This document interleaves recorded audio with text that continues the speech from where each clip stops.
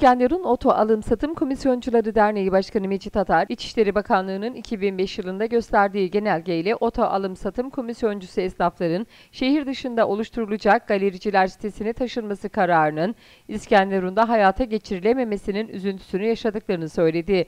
Başkan Mecit Atar, oto alım satım komisyoncusu esnafların cadde ve kaldırımlarda araçları sergilemek zorunda kalmasıyla yaya ve araç trafiğinin bu durumdan olumsuz etkilenmesinin yanı sıra ikinci el araç alan vatandaşların da düzensizlikten dolayı birçok mağduriyet yaşadığına vurgu yaptı. Siz bir proje hazırladınız. E, Hatay Büyükşehir olduktan sonra da Büyükşehir Belediyesi'ne sundunuz. Aynen. Hala cadde üzerlerinde, kaldırımlarda e, satılık araçlar park halinde bu şekilde müşterilerini bekliyor. Ciddi bir sıkıntı şehir merkezinde. Bu proje ne aşamada? Neler yaşadınız o günden bugüne? Şimdi İçişleri Bakanlığı bir, e, 2005'te bir genelge yayınladı.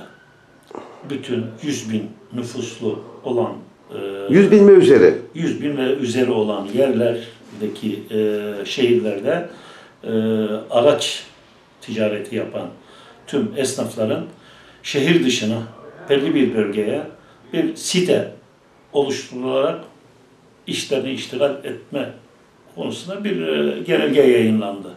Tabii biz bunun üzerine bir çalışma yaptık. Dernek olarak bir çalışma yaptık.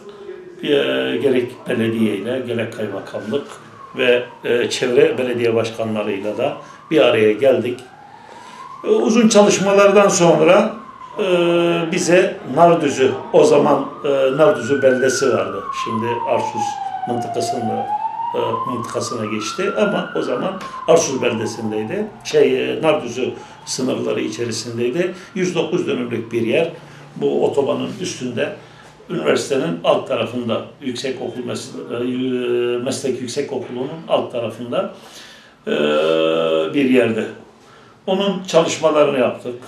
E, altyapısını yani proje e, şekillendirildi. Dosyalar hazırlandı. O zaman e, 2011'de Maliye Bakanlığı'na gönderdik. Maliye Bakan önce burada biz Antakya tabii Hatay büyükşehir böyle büyükşehir olmadan önce defterlığa defterdarlığa gönderdik. Defterdarlıktan da İçişleri Bakanlığı'na gönderildi. Tabii oradan bir netice alamadık. Netice alamayınca da tabii bu sırada büyük e, şehir davası çıktı. Büyük davası, e, büyükşehir davası çıkınca işler tamamen büyükşehirin eline verdi. Yani normal İskenderun Belediyesi'nin elinden alındı. Ee, ondan sonra bir ara Lütfü Bey'le, Büyükşehir Belediye Başkanı Lütfü Bey'le bir araya geldik. O da bize söz verdi. İşte dedi yaptığınız projeyi bize sunun bir daha. Evraklarını bir dosya halinde genel sekreterliğe e, teslim ederseniz biz de size gereken yardımı yapacağız ve programa alacağız. Tabii biz dosyalarımızı hazırladık, projemizi verdik. Bir dosya halinde Büyükşehir Belediyesi'nin genel sekreterliğini teslim ettik. Bir haber çıkmadı. Tabii bu arada dediler ki e, alacağınız yer, tahsis edilen yer, size tahsis edilen yer e, üniversite genişleme sınırları içerisinde mahkemelik olmuş dedi. Dediler. Tabii bunu biz e, Arsuz Belediyesi ile görüşmelerden sonra tekrar bir dosya hazırladık. Ne aşamada olduğunu e, bildirmek için dosyayı hazırladık. Bir daha Büyükşehir Belediye e, Genel Sekreterliğine verdik. Tabii bugün bugün bize hiçbir haber, hiçbir netice vermedi.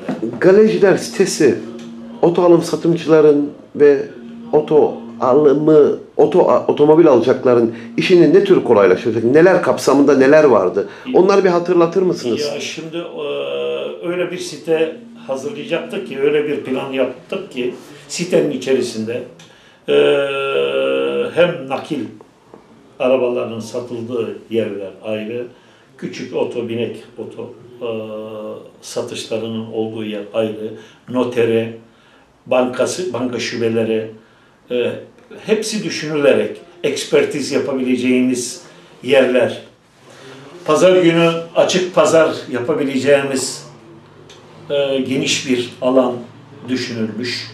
Yani her kolaylık ve oraya gidecek olan bir alıcı en azından e, rahatlıkla hem arabasını deneyebilecek, gösterebilecek, Türkiye'de galerici sitesi projesini gerçekleştirmiş kaç ilimiz var e, bildiğiniz? ya bildiğim Başarıya ulaştı mı bu proje? Kesinlikle Adana'da, Urfa'da, İstanbul'da, Urfa'da. Ankara'da, Urfa'da dahi var, e, Osmaniye'de var. Adana çok çok mükemmel bir siteye kavuştu. Niğde, e, bunlar benim bildiğim, gidip geldiğim e, yerler. O kadar düzenli ki oradan zaten Bursa, e, efendim söyleyeyim Konya, yani bunları biz e, şey yaparken gezerek onları e, bu o oto sat şey e, ne diyorlar buna pazar yerlerini ve e, siteleri gezerek örnek alarak sitemizi o şekilde kurmaya çalıştım. Şimdi hazır konusu gelmişken ikinci el otomobil piyasasında durum nedir, tablo nedir, e, fiyatlar e, ne durumda, Ya- ne tavsiye edersiniz? Şimdi ona gelmeden önce daha şey var mesela öyle bir e, yere bütün galerileri topladığın zaman en azından sokakta bakkal önlerinde berber dükkanlarının önünde satışların ortadan kalkacağını düşünüyorum. Yasak hale gelecek değil mi bu Tabii. durumda? Şimdi sen bütün bütün galerileri oraya taşıdığın zaman burada dağınıklık ortadan kalkacak. Sokaklar boşalacak.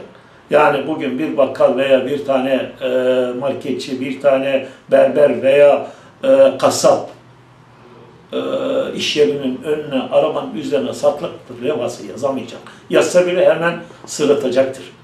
Ama şu anda görüyorsun bak e, cadde üzerinde e, sokaklar dahi e, kaldırımlar üzerindeki arabalara bakın dikkati çekmiyor mu? Hep her taraf dolu ve insanımız rahatlıkla dolaşamıyor, çıkamıyor, evinden çıkamıyor. İşte sitenin en büyük avantajlarından bir tanesi bu.